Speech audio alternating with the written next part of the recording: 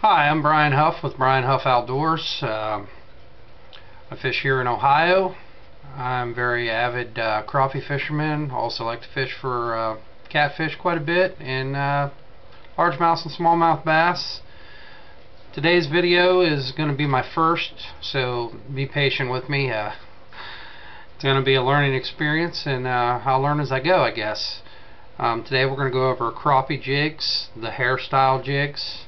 There's many different variations of the hair jig, uh, a lot of different color patterns. But to be honest, if you're going to go and you want to go, you know, as cheap as possible, you can go out and use, say, chartreuse, which is the uh, neon green color. I'm not sure how well these will show up when I hold them up, but this is the uh, neon green chartreuse. Um, also, uh, Yellow is a very productive color. Uh, they're just a yellow hair jig with a lead head. 16th ounce is usually about right. Um, also they come in a uh, white, like I said, and that is a real productive color also. If you've got the yellow, the white, chartreuse green, I think you've, you know, pretty much got your bases covered there. Um, a lot of guys will rig up the old spring style, just one inch plastic bobber over them, maybe set it two foot deep, throw them out, work them back. You know, you can slow cast, or I'm sorry, slow retrieve them. Um, you can do a retrieve a few cranks and pause, or just a twitching motion, then pause, twitch, twitch, and then pause again. Um, Crappies, when the water is real cold, will hit real lightly. They won't always take the bobber under. You just see just a bounce and maybe a slow slide to the left or the right. Or, you know, every now and then you get some aggressive fish, even in the colder water, that'll bury the bobber. So you've got to be a, a bobber watcher. I mean, you got to focus.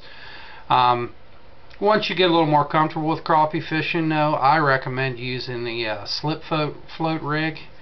Uh, you got a line stopper on your line, a bead, your slip float, and below that then of course you can pinch on a split shot, tie the jig below that six or eight inches.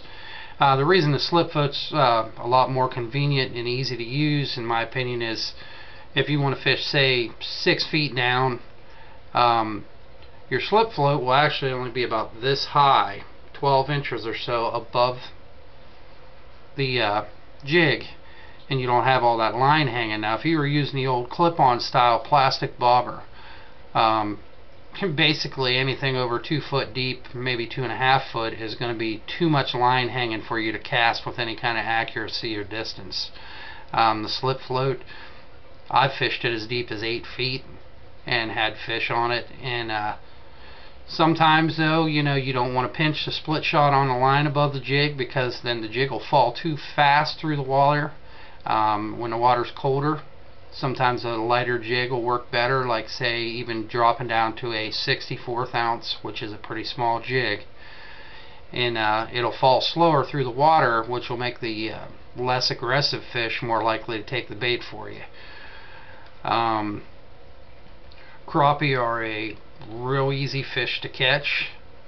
Um, hair jigs are probably the cheapest alternative. I mean, you can go get Mr. Twister brand, um, South Bend brand crappie jigs for, I don't know, three for a dollar a lot of times in the department stores.